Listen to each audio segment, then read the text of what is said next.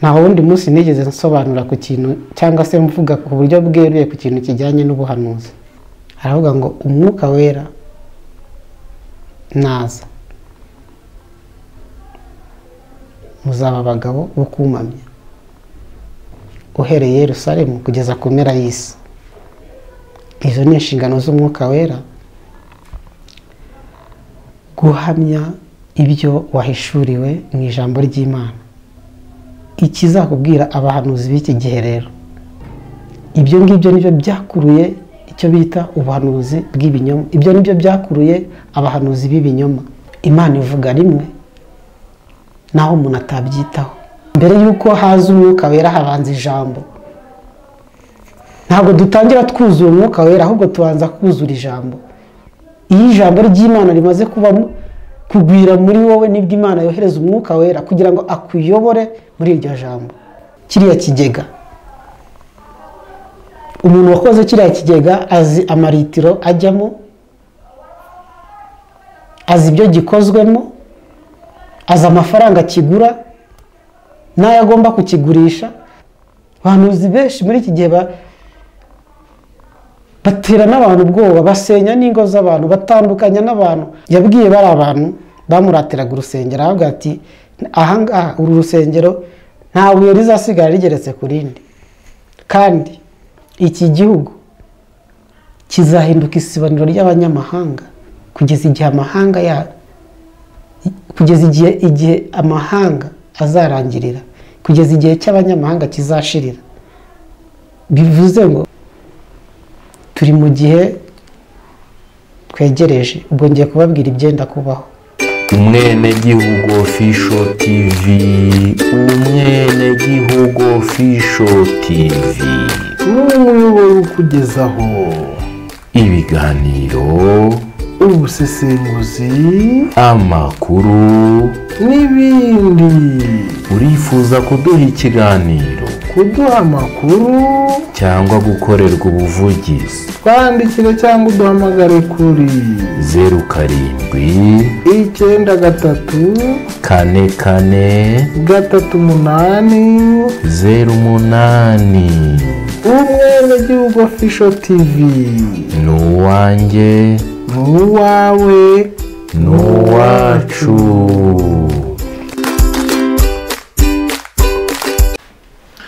Ikaze bakunze umwenegihugu official tv ibihe byiza amahoro y'imana n'imigisha iyiturukaho aho muherereye hirya no hino ku isi waba uri mu rwanda cyangwa se hanze yarwo aho uherereye udukurikira mu rurimi tuvugamo reka twifurize ibihe byiza. Twagarutse rero mu kiganiro turi kumwe na vedasite vedasite turi aho? Muraho neza? Makuru. Amakuru ni meza. Mm, nshimiye. N'abaduteze amatwi bose yego. ndetse ndanabashuhuje aho baherereye hose. Udashimiye n'imana se kandi ari iba yadushoboje kugeraho imana y'umuntu arayishimira Mm, nubwo atabivuga ari- ariko ibireba mu mutima w'umuntu. Yego. Uyu munsi turaza kugaruka ku kintu cyitwa ubuhanuzi. Ubuhanuzi abantu bitiranya muri iyi minsi ubuhanuzi butavugwaho rumwe. Ubuhanuzi ubuhanuzi bwabaye ubuhanuzi umuntu wese arabyuka agahanura Ah, niyo ngingo tuza kugenda tuganiraho tuyisesengure turebe icyo ah, bibiliya ibivugaho n'ibindi nyine tugenda kuza ah, tugarukaho. Rero tuguhaye ikaze vedasite ariko se dutangira ubundi wowe ubuhanuzi hari abakwita umuhanuzi abandi bakakwita umuhamya abandi bakakwita vedasite abandi bakakwita ah, hari izina mperutse kubona muri komanteri ngo wabaye magayane. Eh, ayo yose. Ayo yose. Rero wenda dutangira kugira ngo tuze gukomeza no kuri iyo ngingo ubundi ku bwawe ubuhanuzi ni iki? Ubufata ute? Umuntu ubukora ni mu ntoki? Rero njyewe ikintu cyose nifuza gushingira ku kuri kuko ukuri niko jambo ry'imana.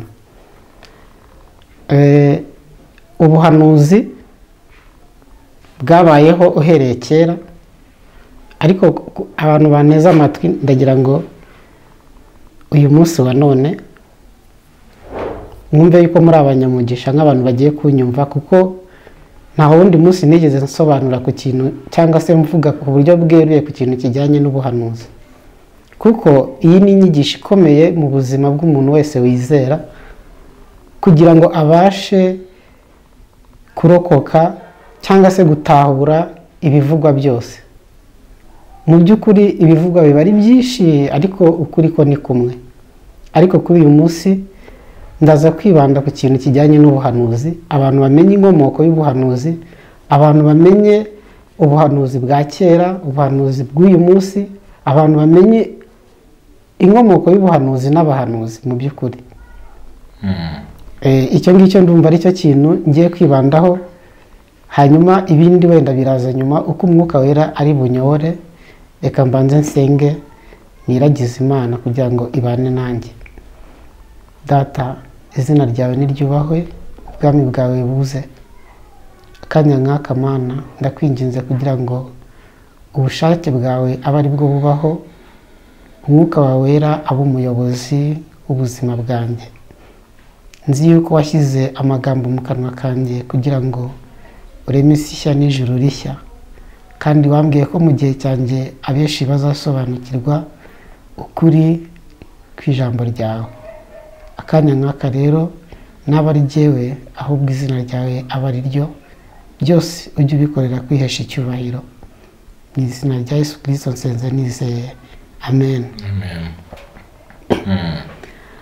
Eh, nk'uko nari mbivuze rero uruba umugisha wowe udukurikiye kuko hari ibintu byinshi utajya gutahura ariko ugiye gutahura kuri uyu munsi rero nifuje kubasangiza cyangwa se kubahamiriza ibyo umwuka w'imana ahishura cyangwa se uko imana ibona ubuhanuzi mu gihe nk'iki. Turi kuri iki kintu cy'ubuhanuzi ndagira ngo duhere ku nkomoko y'ubuhanuzi. Uyu munsi nahisemo kugira ngo n'ubundi ntacyo njya mvuga nishingikirije kuri bibiliya ariko uyu munsi ndayisoma. Kugira ngo nereke abantu inkomoko y'ubuhanuzi. Turasoma ijambo ry'imana riboneka mu kubara ni ibice cumi na bibiri ku murongo wa gatandatu haravuga ngo arababwira ati nimwumve amagambo yanjye. Niba muri mwe hazabaho umuhanuzi mwiyerekwa ni ho uwiteka nzamwimenyeshereza. Mu nzozi ni ho nzavuganira nawe umugaragu wanjye mose siko ameze. Akiranuka mu rugo rwanjye hose uwo wowe tujya twivuganira n'akanwa kacu neruye. Atari mu migani kandi ishusho y'uwiteka ajya ayibona nuko iki cyabatumye kunegura umugaragu wanjye mose? Aya ni amagambo y'imana dusomye aboneka mu kubara ibice cumi na bibiri uhereye ku murongo wa gatandatu ukageza ku murongo wa munani. Rero bavandimwe munkurikiye ndagira ngo mbamenyeshe yuko iyi ngiyi ariyo nkomoko y'ubuhanuzi. Aya magambo uwiteka yavuze kuri uyu munsi abitewe n'ibyo miriyamu na roni bari bakoze ubwo baneguraga umugaragu w'imana mose. Ahangaha ni ho imana yatangije ikintu bita ubuhanuzi. Buri wese amenye ko inkomoko y'ubuhanuzi ikomoka ahangaha aha ni ho imana yashyizeho iri sezerano.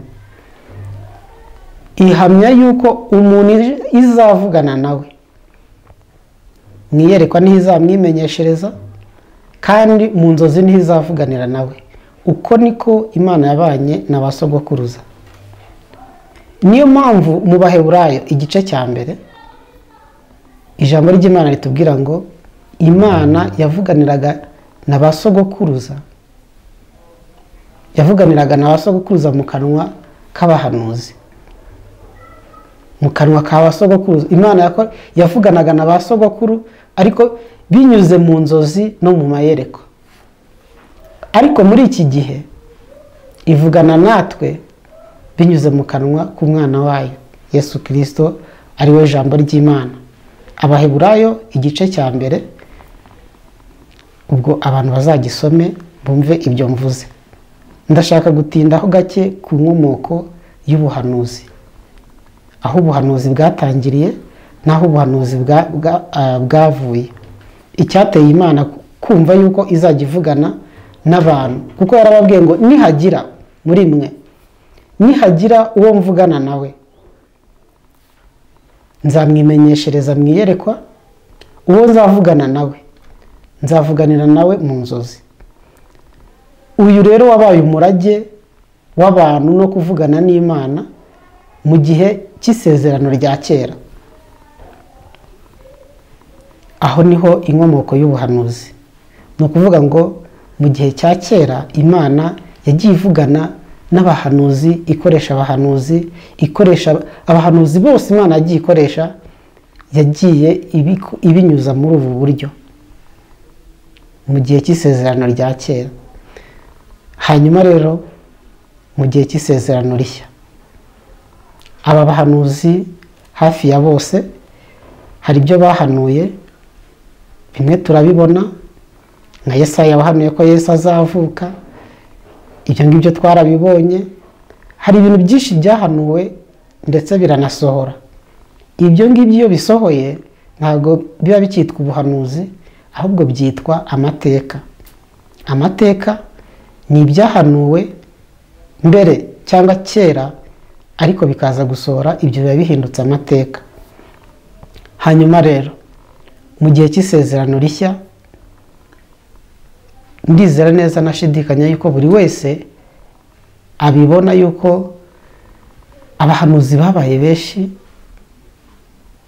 ndetse ni benshi cyane.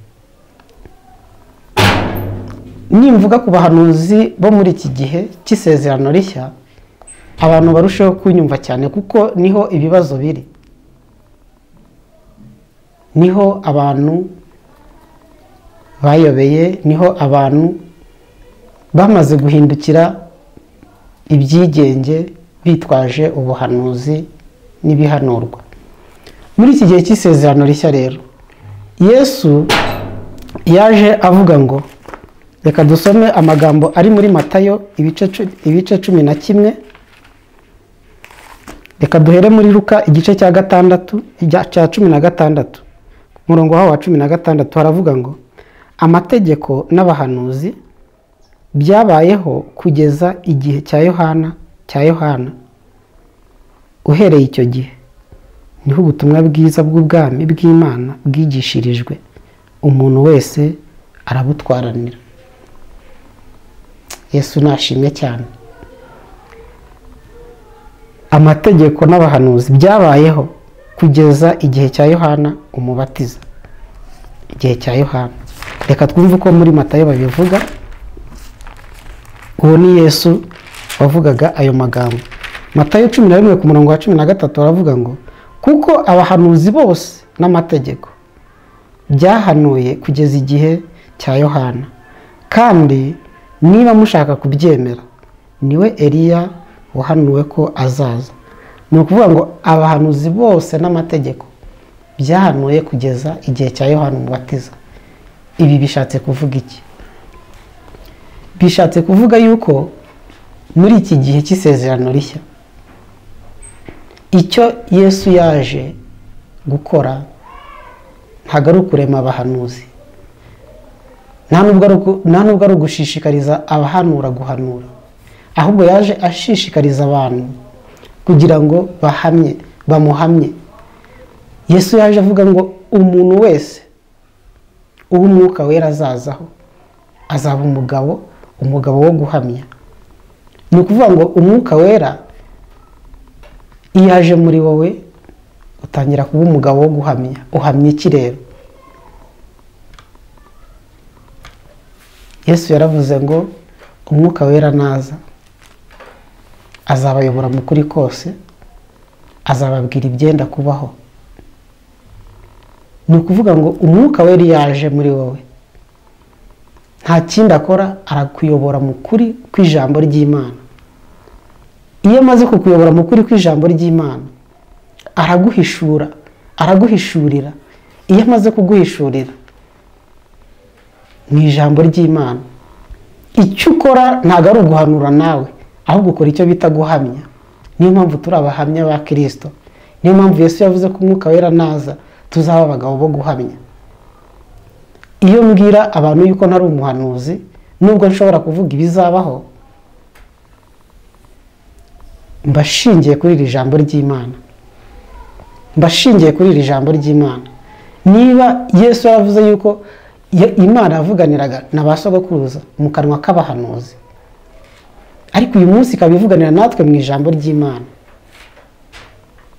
Ntabwo dukwiye kwitwa abahanuzi kuko si twebwe twanditse ijambo si natwe twanditse ibyahanuwe ahubwo imana yakoresheje ba sogokuruza barahanura. Niyo mpamvu bitwa abahanuzi b'ukuri n'abahanuzi bemewe na yesu yaje abemera akavuga n'igihe cyabo bahanuyemo ariko akavuga ko hari n'abandi bazaduka. Abo badutse rero nibo turimo abo badutse nibo usabwa gutahura nibo usabwa kumenya. Uzabamenya ute? Umwuka wera naza azabayobora mu kuri kose. Umwuka wera naza azabayobora mu kuri kose.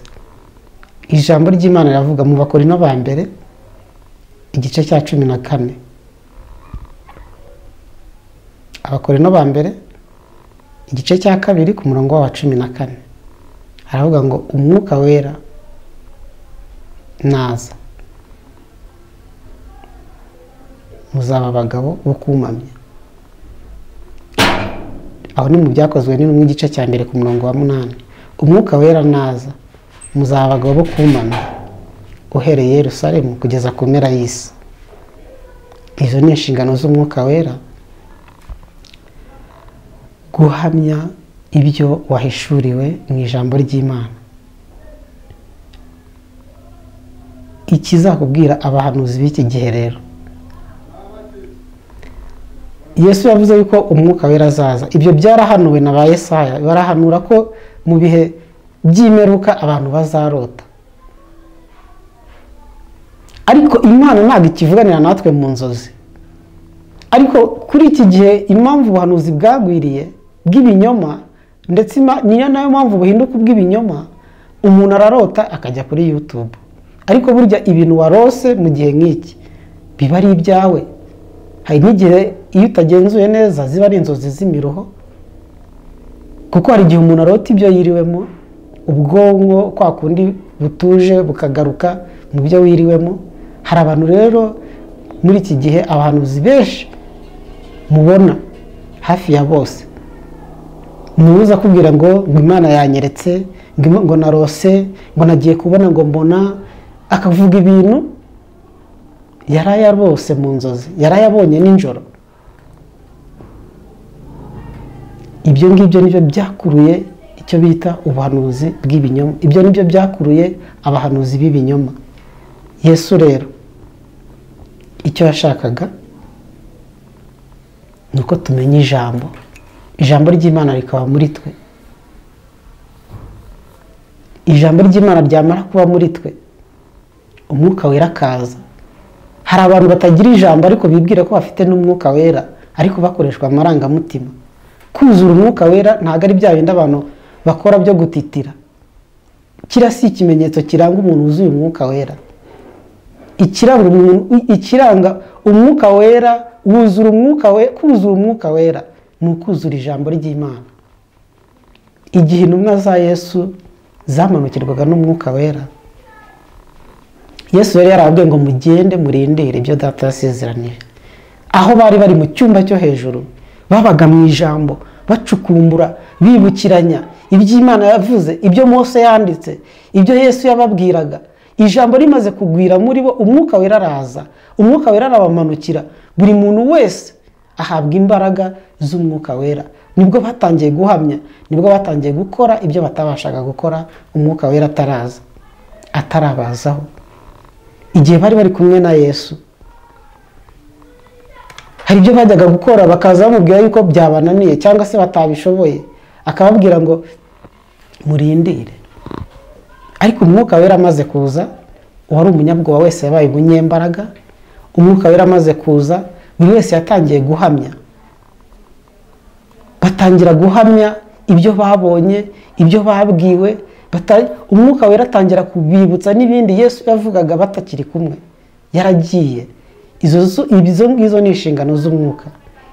Ubuhanuzi rero bwo muri iki gihe n'abahanuzi ndagira ngo mubitandukanye ariko mwishingikiriza ku ijambo ry'imana. Wowe umurikiye uyu munsi ndizera nashidikanya yuko utazongera guhera mu rungabangabo rwo gutahura no ku- no kumenya no gusobanukirwa iby'abahanuzi n'ubuhanuzi. Imana yavuganiye na ba sogokuruza mu nzozi. Iryo ni isezerano yagize kuri uwo munsi yashakaga guhana uwo bita aroni na miriyamu ubwo baneguraga mose kuko yari yarongoye umunyetiyopiya ariko imana ibabwira yuko nishaka kuvugana nabo. Izavuganira nabo mu nzozi. Imana rero yavuganiye nabo igihe kirekire. Isezerano rya kera ryose ritwereka uburyo imana yagendaga ivuga ivuganira n'abantu mu nzozi. Ariko yesu amaze kuza yaje ahindura ibintu. Yesu yaje kugira ngo umuntu uwo ari we wese umuntu uwo ari we wese abashe kuvugana n'imana abashe kugirana ubusabane n'imana. Ni ukuvuga ngo twebwe muri iki gihe dufite agaciro gakomeye kuruta abakera kuko abakera umwuka w'imana yabazagaho cyangwa se imana yabashyiragaho umwuka wera ifite intego ishaka kubakoresha ifite ikintu ishaka kubakoresha ikabashyiramo umwuka wera uri bubashoboze gukora ibyo ngibyo. Mwajyaga mwumva ukuntu umwuka wera w'imana aza kuri sawuri ubundi akamuvaho. Umwuka wera aza kuri dawidi ubundi dawidi agacumura. Ni ukuvuga ngo imana yahaga abantu umwuka wera kugira ngo ibakoreshe misiyo yashakaga. Ariko muri iki gihe cya yesu umwuka wera ni uwiteka mu buzima bwacu mu buzima bw'uwizera. Kuko yesu yaravuze ngo umwuka wera azabana namwe ibihe byose. Azabana namwe ibihe byose. Rero bavandimwe muharanire kuba abantu b'umwuka. Pawulo yaravuze ngo umuntu w'umwuka arondora ibintu byose ariko we ntawe umurondora. Ni ukuvuga ngo iyo uri mu mwuka w'imana iyo umwuka w'imana ari muri wowe uba ufite igisubizo ku bibazo byose uba ufite igisubizo ku buzima bwose bw'ibibaho. Niyo mpamvu ivugabutumwa ari ugutanga igisubizo ku buzima bwose. Impamvu muzabona abanyamadini benshi muri iki gihe badafite ukuri cyangwa se badahamya n'ukuri ni ikimenyetso cy'uko umwuka wera atari muri bo. Umwuka wera atari muri bo. Abantu benshi bakoreshwa n'amarangamutima. Abantu benshi bakoreshwa n'amarangamutima. Abantu benshi bihangiye imirimo binyuze mu kuvuga imana na yesu. Bityo bituma bafata imana nk'igikoresho kibageza ku migambi yabo. Bakoresha imana kugira ngo basohoze imigambi yabo. Ariko iyo umwuka w'imana ari muri wowe agushishikariza gusohoza imigambi y'imana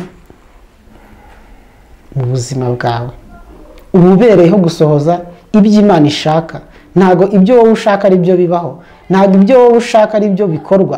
Ahubwo urareka ibyo imana ishaka bikaba ari byo bibaho. Uko niko umuntu uri mu mwuka w'imana abona ibintu. Imana niyo ikora kugira ngo isohoze imigambi yayo. Uyu munsi wa none imana iri kunkoresha kugira ngo isohoze imigambi yayo.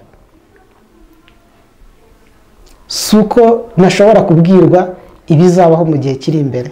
Ariko ninabimenya ntabwo icyo nzakora ari uguhanura. Kuko umwuka wera azaba yamishuriye ariko ntabwo azamishurira ibirenze iri jambo. Ntabwo azamishurira ibiri kure y'iri jambo ahubwo azamishurira ibiri muri iri jambo byaba ari ibyo mu mateka byaba ari ibyahanuwe. Nanjye icyo nzakora si ukongera kubihanura ahubwo icyo nzakora ni ukubihamya. Dutandukanye kuba umuhanuzi no kuba umuhamya. Abahanuzi ba kera cyangwa se abahanuzi imana yemera aba yesu yavuze babayeho kugeza mu gihe cya yohana. Niba ni aba bahanuzi tubona guhera kuri esayi ukageza kuri maraki. Aba nibo bahanuzi imana yanyujijemo mesaje yo muri icyo gihe ndetse n'igihe kizaza n'icyo turimo uyu munsi n'igihe kizaza. Iyo mesaje yaratambutse igisigaye yesu yaje gukora ni ugusohoza ibyo byahanuwe. Kandi yesu we abantu banyumve. Hari ibintu yesu atasohoje bitarasohora. Ibyo ngibyo bizasohora. Ariko ibyo yesu yasohoje ni ibyari byarahanuwe kuri we. Hari ibindi bitarasohora na byo turindiriye. Ibyo na byo bizasohora. Kuba imana yabiguhishurira ntabwo byatuma witwa umuhanuzi ahubwo wakwitwa umuhamya.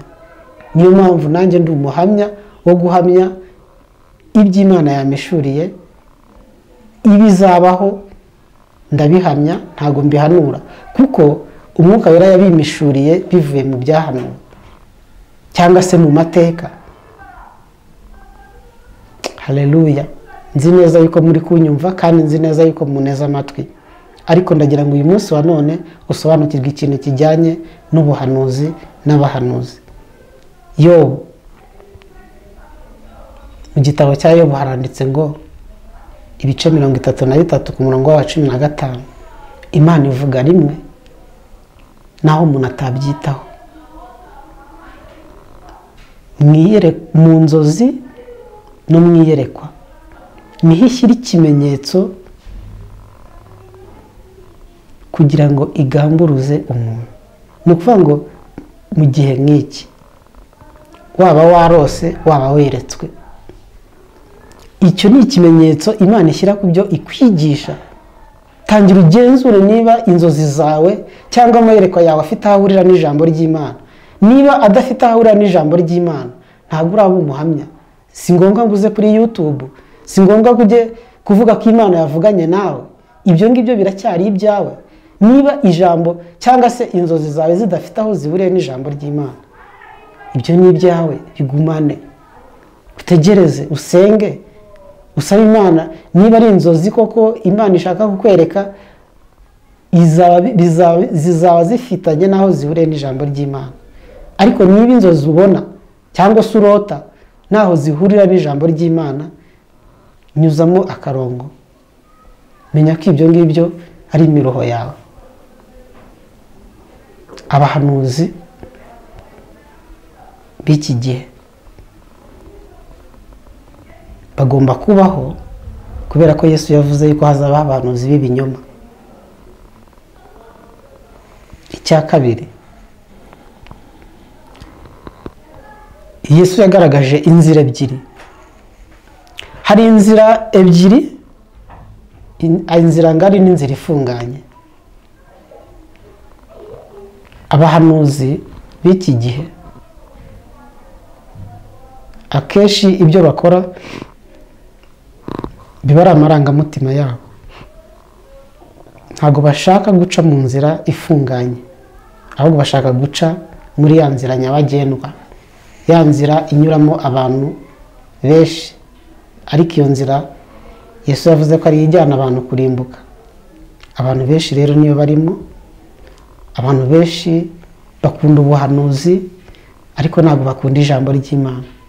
Kandi ijambo ry'imana niryo rihishe ukuri kose. Rero bavandimwe wowe uneze amatwi wowe wagize amahirwe yo kunyumva garuka. Reka kwiringira ubuhanuzi bw'abantu. Naho waba warabyumvishe cyangwa naho waba warabibwiwe ariko reba niba hari aho bihuriye n'ijambo ry'imana. Reba genzura niba hari aho bihuriye n'ijambo ry'imana. Umwuka wera niba ari muri wowe azagutahuza kandi azakuyobora mu kuri kose kuko niyo nshingano ye. Umwuka wera naza azabayobora mu kuri kose. Azababwira ibyenda kubaho. Muvandimwe umwuka wera niyaguhishurira mu ijambo ry'imana akakwereka ibyenda kubaho icyo uzakora ntabwo uzaba ubihanuye ahubwo uzaba ubihamije uzaba ubaye umuhamya mwiza umwuka wera na- naguhishurira nawe ugahamya. Uzaba ubaye umuhamya mwiza. Ariko ntabwo uzaba ubaye umuhanuzi kuko si we wabihanuye. Byarahanuwe wowe icyo ukora ni uguhamya. Kuko inshingano y'umwuka wera niyo kutugira abahamya ba kirisito kubera ko ibyo duhamya tubihamya mu izina rya kirisito kubera ko kirisito yaje gusohoza ibyahanuwe n'amategeko. None se wowe urinde wiyita umuhanuzi? Iyi niyo mpamvu njya mbwira abantu yuko nari umuhanuzi ahubwo ndi umuhamya. Abavuga ibyo bavuga byose bajye babivuga ariko ngewe nzi uwo ndi we yesu nashimwe cyane. Ngewe nzi uwo ndi we ndizera nashidikanya yuko umenya inkomoko y'ubuhanuzi kandi ukaba umenye gutandukanya ubuhanuzi bwabagaho mu gihe cy'isezerano rya kera ukaba umenye no gutandukanya ubuhanuzi bwo mu isezerano rishya. Mujye mureba amagambo Yesu yagiye avuga muyahuze kandi musabe imana ibatahuze ibatahuze. Niba yesu yaravuze bikandikwa amagambo ye tukaba tuyemera. Akavuga ko abahanuzi babayeho kugeza igihe cya yohana umubatiza. Abo uyu munsi bo bavuye. Mureke kwitiranya ibintu. Si hari ikintu nshaka ko abantu batahura. Ushobora kuba utarahatahura ibi bintu. Ariko imana ikabigukoresha ibintu. Umwuka w'imana akaba aza akaguhishurira ugahanura n'ibintu biri iby'ukuri ariko icyo nshaka kumenya ni uko umenya gutandukanya kuba umuhamya no kuba umuhanuzi. Abantu bazanyumve neza. Ubu hari ushobora kunyumva akavuga ati ese noneho bivuze yuko nta bantu bahanura ibintu bikabaho? Nunabihanura bikabaho. Ibyo bintu bizaba byarahanuwe. Ibyo bintu umwuka wera ni umwuka wera uzaba uguhishuriye ugahanura. Kandi umwuka wera naguhishurira ibyahanuwe. Ntabwo ari wowe uzaba ubihanuye ahubwo wowe icyo uzaba ukoze ni uguhamya. Kandi ntabwo umwuka wera azaguhanurira cyangwa se azaguhishurira ibihabanye cyangwa se ibidafite aho bihuriye n'ijambo ry'imana. Kuko yesu yaravuze ngo azenda ku byanjye abibabwire. Ni ijambo ry'imana yavugaga. Umwuka wera azaguhishurira ijambo ry'imana. Mbere y'uko haza umwuka wera habanza ijambo. Ntabwo dutangira twuzura umwuka wera ahubwo tubanza kuzura ijambo. Iyo ijambo ry'imana rimaze kubamo kugwira muri wowe ni bwo imana yohereza umwuka wera kugira ngo akuyobore muri iryo jambo. Ukeneye ubuhanuzi.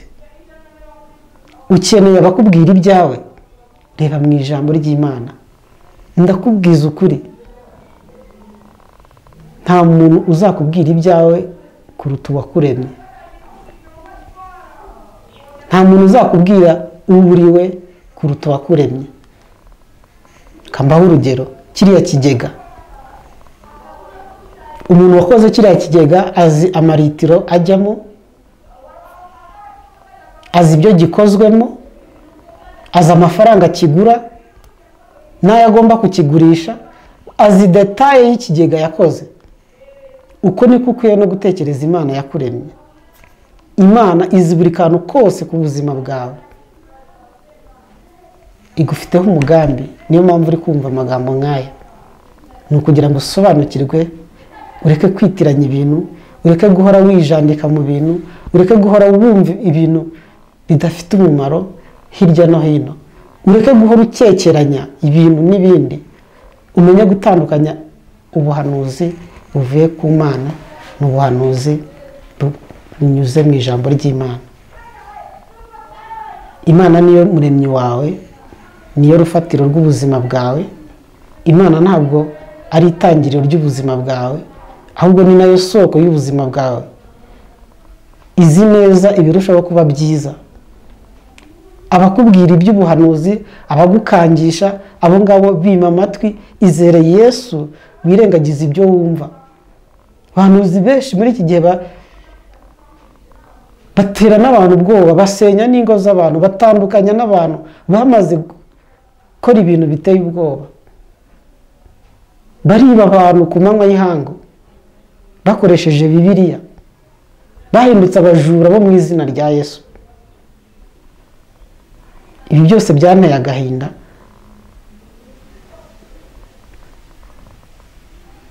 Ni na yo mpamvu uyu munsi wa none nanjye mba ndi gutambutsa ijambo nk'iri ni ukugira ngo uzagira amahirwe yo kunyumva azabashe azabashe gufata icyemezo. Bavandimwe ndabashimiye kubw'ijambo ry'imana. Mwumvise mbere y'uko nsoza turi mu gihe twegereje ubwo ngiye kubabwira ibyenda kubaho. Twegereje ubwami bw'imana. Inyigisho ya yesu y'ingenzi mu gihe cye yari ubwami bw'imana.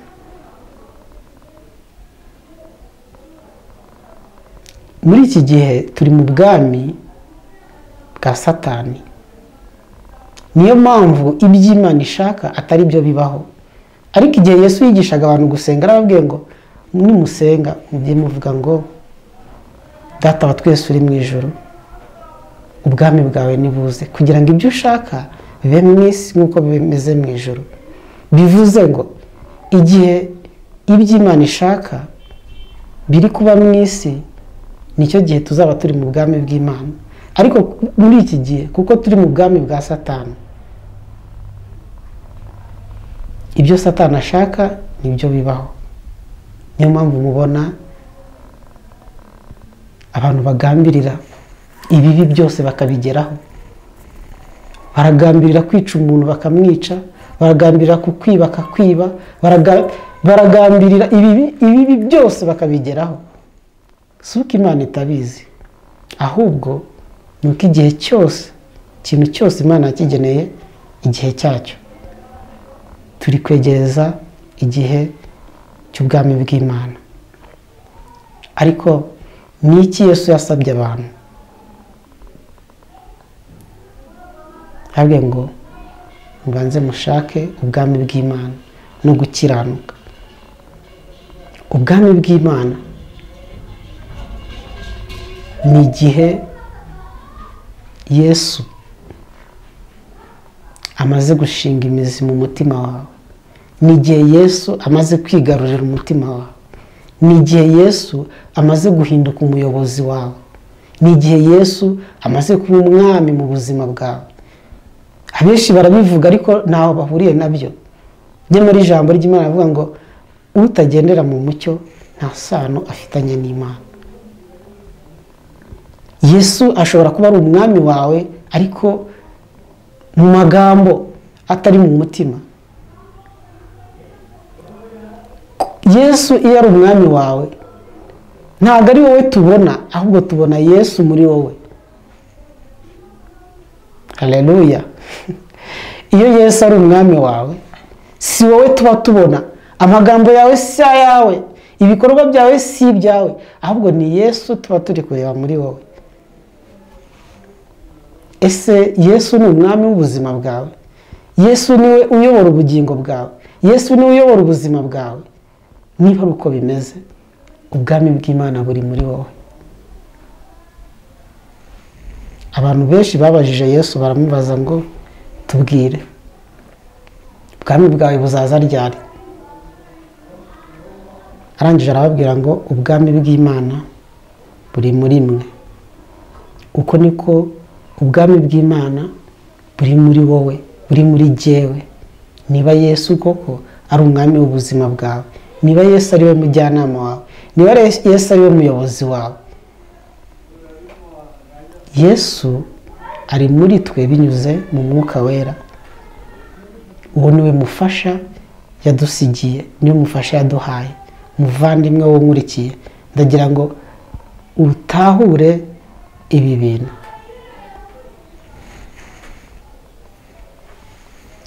Iyo yesu ari muri wowe ubuzima bwawe burangwa no kuramya imana kuyihimbaza. Iyo yesu atari muri wowe ubuzima bwawe burangwa no guhangayika. Ujye uhora wisuzuma. Ujye uhora wisuzuma. Hari ibintu byinshi bituzengurutse hari ibibazo dufite nanjye ubu nicaye ahangaha randiro daranyishyuza ariko yesu ni umwami. Landirodi aranyishyuza ariko yesu ni umwami w'ubuzima bwanjye. Azi neza ibirushaho kuba byiza. Nyine ni cyo gihe ndimo. Nawe hari izindi siturago urimo. Hari ubundi buzima urimo. Ariko yesu reba niba yesu akiri umwami no mu bibazo. Reba yesu niba akiri yesu muri wowe. Kuko tugomba guhamya yesu no mu ngorane no mu bibazo no muri gereza. Yosefu yahamije yesu. Yosefu yahamije kwizera. Daniyeli yaragambiriye mu mutima mu bihe bikomeye arahamya muvandimwe we guhanga mu maso ku bikuzengurutse we guhanga mu maso kuri ibyo byose bigukikije ibyo byose tubinyuramo. Ibyo byose ntabwo ari ibyo kutwica huya ahubwo ni ibyo gutuma ushushanwa n'umwana wayo. Nicyo cyatumye imana yemera yuko yesu anyura muri biriya byose. Wowe nturabigezamo. Icyatumye imana yemera ko umwana wayo ikunda w'ikinege anyura muri biriya byose ni ukugira ngo n'abamwizera bose bazashushanwe nawe amakuba n'ibyago bikuzengurutse ni ibituma ushushanwa n'umwana wayo. Hareruya ariko muvandimwe reba yesu niba akiri yesu muri wowe ubwo ni bwo bwami bw'imana. Icyakora yesu agiye kwima ingoma mu buryo bufatika. Urambaza ngo bizagenda bite? Ndabizi neza ko iki kintu abantu benshi batakivugaho rumwe ndetse hari n'abadashaka kukivuga ariko atari uko batagisobanukiwe ahubwo ariko wenda bashobora kuba babizi. Kuko imana ihishurira buri wese bitewe n'ubusabane bagirana. Kuko ikigero cy'ubucuti bwawe n'imana ni wowe ugihitamo mbisubiremo. Ikigero cy'ubucuti bwawe n'imana ni wowe ugihitamo. Imana izaduhishurira ibitandukanye bitewe n'ubusabane bwa buri wese na yo. Ubwami bw'imana ni igihe iby'imana ishaka. Biri kuba mu isi nk'uko bimeze mu ijoro hirya no hino murabona intambara abantu ntabwo baguwe neza. Ubwami bw'imana rero ni igihe imana igiye gukuraho ubutegetsi bwose bwo mu isi ni igihe imana igiye gukuraho aya madini yayobeje abantu imana ikimika ubwami bwayo hano mu isi.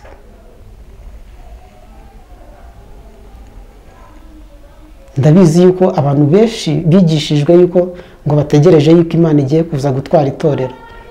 Ntabwo ari ko kuri. Uko ntabwo ari ukuri. Ntabwo igihe cy'itorero kiragera. Ntabwo igihe cy'itorero kiragera. Kuko igihe cy'itorero kizabaho hashize igihe cy'itorero kizabaho. Ariko si nonaha. Mbivuge gutyo. Igihe cy'itorero kizabaho ariko si nonaha. Icyo imana igiye gukora ni ukwimika ubwami bwayo. Aha. Aha mu isi. Hanyuma ubutumwa bwiza bukabwirizwa amahanga yose. Bavandimwe dore aho ubwenge buri. Ubwo butumwa bwiza yesu yavugaga muri matayo ibice makumyabiri na bine ku murongo wa cumi na kane. Haravuga ngo ubutumwa bwiza buzabwirizwa amahanga yose. Kugira ngo bube ikimenyetso cyo guhamiriza amahanga yose. Nibwo imperuka izahera akize abantu benshi nta nubwo bazi gutandukanya iminsi y'uwiteka n'imperuka. Aho ni ho ibintu byapfiriye. Ntabwo bazi gutandukanya. Isi nshya n'ijuru rishya byahanuwe n'umuhanuzi Yesaya n'isi nshya n'ijuru rishya byahishuriwe yohana. Yohana wanditse ibyahishuwe ibyo ni ibintu bivuga kimwe ariko bitandukanye. Ibyo byose nzagerageza kongera kubisobanura ku kintu kijyanye n'ubwami bw'imana na cyo nzaza fata umwanya wo kukinonosora kugira ngo abantu barusheho kubisobanukirwa. Ariko icyo impamvu mbivuze ni ukugira ngo buri wese yitegure ubwami bw'imana.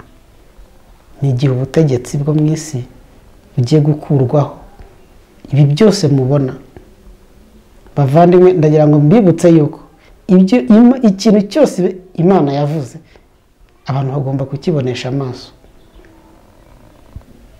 Yesu yavuze ku biri kubera hariya muri iya isiraheli uyu munsi wa none. Ariko abahanuzi n'abigisha babivuga uko bitari.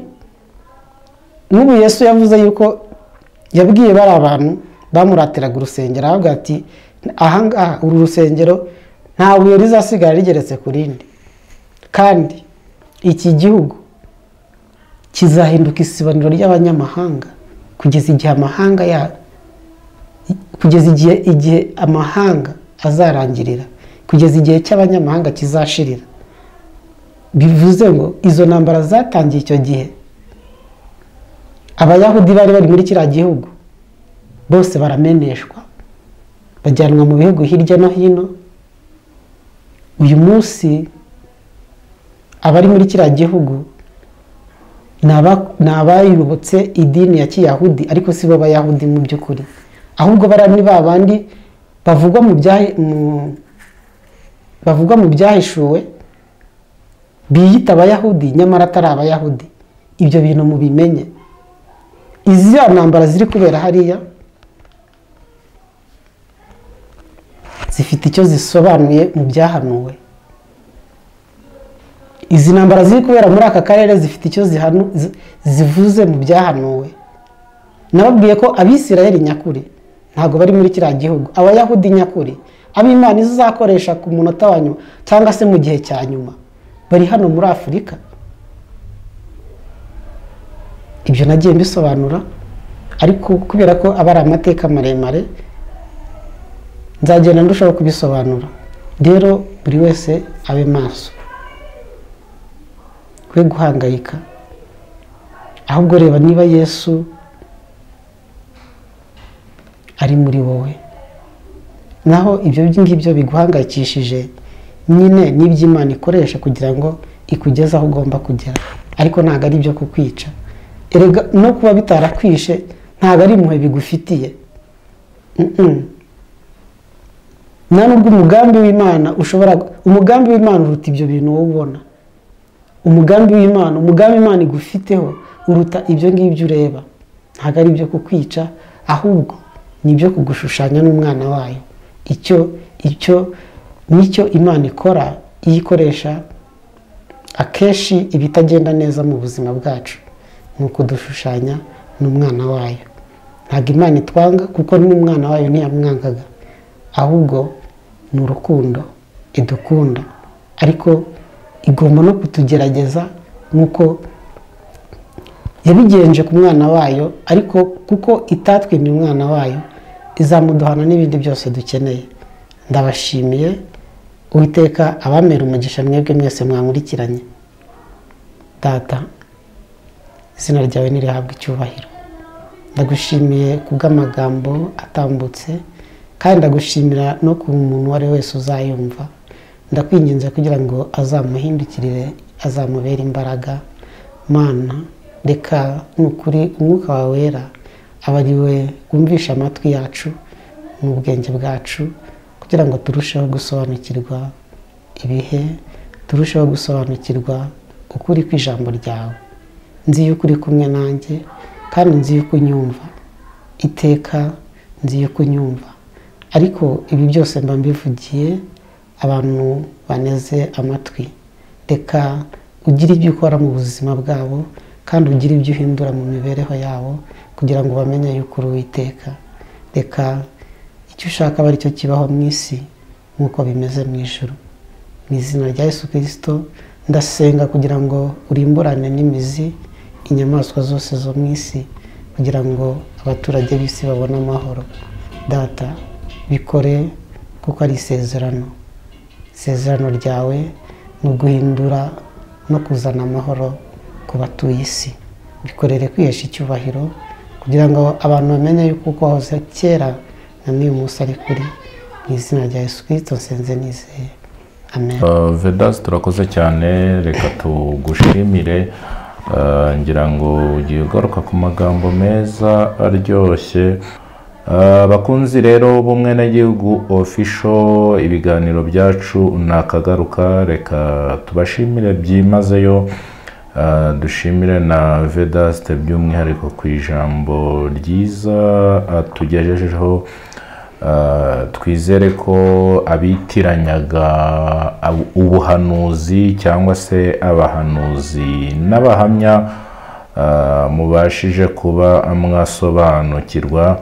Ubwo wenda aho mudasobanukiwe ni umwanya mwiza wo kuzabyandika muri komenti cyangwa se ah, gutanga ibitekerezo wenda ashobora no kuzagaruka mu kiganiro abasubiza cyangwa se ah, tugashaka n'ubundi buryo dushobora kuba twakwifashisha.